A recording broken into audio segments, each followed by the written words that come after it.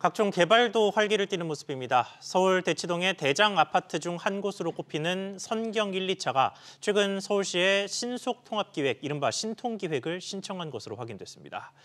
여의도와 목동에 이어서 강남에서도 서울시의 재개발, 재건축 사업에 참여하려는 단지가 속속 나오는 모습입니다. 최지수 기자. 네, 최지수입니다. 네, 최근 대치동에서 신통 기획을 신청한 단지가 또 나왔다고요. 네, 대치동 506번지 일 대 대치선경 1, 2차 아파트가 서울시의 신통기획을 신청한 것으로 확인됐습니다. 재건축 추진 준비위원회는 기존 최고 15층 1034가구 규모 아파트에 용적률 300%를 적용한 최고 49층 1678가구로 재탄생하는 신통기획안을 제출하면서 사업의 첫 발을 뗐습니다. 신속 통합 기획은 재개발 재건축 초기 단계부터 서울시가 절차를 지원해 정비구역 지정까지의 기간을 5년에서 2년으로 대폭 줄이는 정비 사업 방식인데요.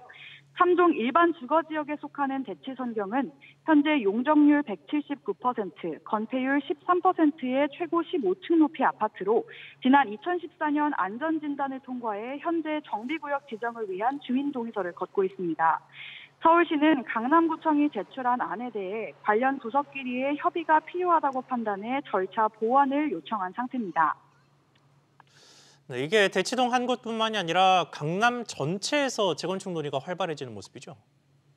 네, 먼저 지난해 10월 대치 은마 아파트의 재건축 계획안이 서울시 도시계획위원회를 통과하면서 이 일대의 기대감을 키웠습니다.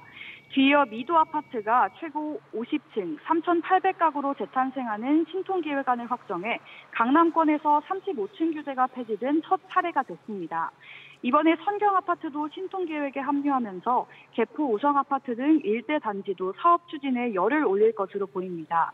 여기에 신반포 2차 아파트는 최고 50층 높이 2,050가구 규모 대단지로 재탄생하는 신통 계획안이 오늘 확정됐는데요. 서울시는 신반포 2차의 기획안이 확정됨에 따라 연내 정비계획 결정이 완료될 것으로 전망했습니다. SBS 비즈 최지수입니다.